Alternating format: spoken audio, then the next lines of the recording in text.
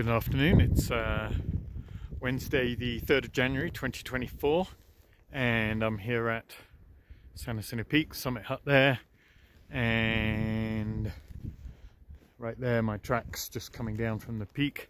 As you can see, we've had a minor storm this morning. I hiked up through it. It started just very lightly snowing on me at Humber Park at about 7.30 this morning and basically snowed most of the way up, stopped about 11 o'clock this morning. Um, just give an idea of conditions, if you can see that.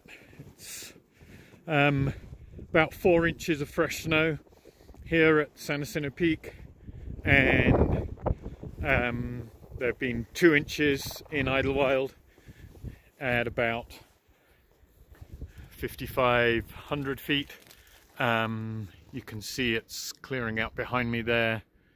It's been kind of sun and cloud coming and going for the last uh, hour, hour and a half. Um, I came down off the peak because the wind's blowing a little above 30 miles an hour and uh, current air temperature is about 13 degrees, that's about minus 10 centigrade, and the wind chill was negative 13.0, that's about minus 25 centigrade. So a little fresh this afternoon.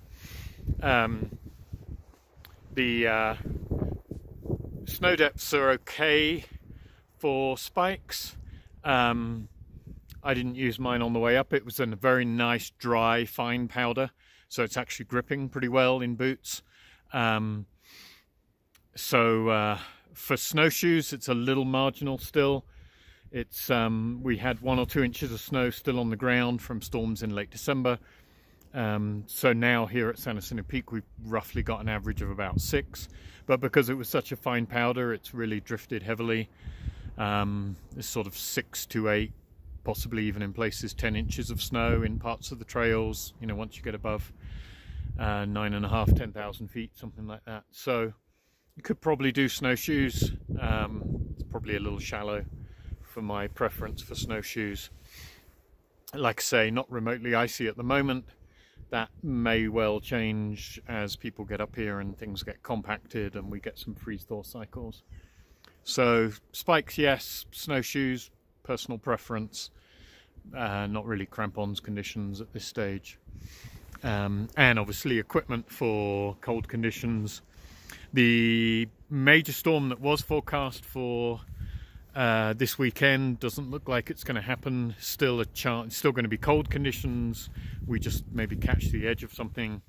Um, current predictions are in the sort of two to four inches range, so maybe something similar to today. And then possibilities in the week after that as well.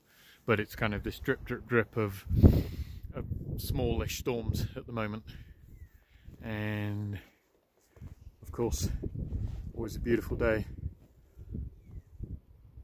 in the San Jacinto Mountains and safe hiking everyone